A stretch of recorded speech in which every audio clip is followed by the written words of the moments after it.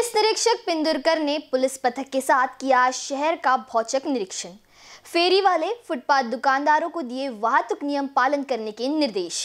हिंगनघाट शहर का पदभार संभालते ही पुलिस निरीक्षक भानुदास पिंदुरकर ने शहर का दौरा करके रोड के बाजू की वाहतुक व्यवस्था का जायजा लिया। शहर के मार्ग से सुबह अपने पुलिस विभाग के टीम के साथ रस्ते पे उतर के सभी फुटपाथ विक्रेता, फेरी वाले, स्थायी दुकान वालों को वाहतुक नियमों का पालन करने की समझ दी। सभी को शहर के वाहतुक नियमों का पालन करना है। अनियंत्रित पार्किंग फुटपाथ विक्रेता को अपनी दुकानें रोड के दायरे में करके वाहतुक को तकलीफ़ ना हो, ऐसे निर्देश दिए गए।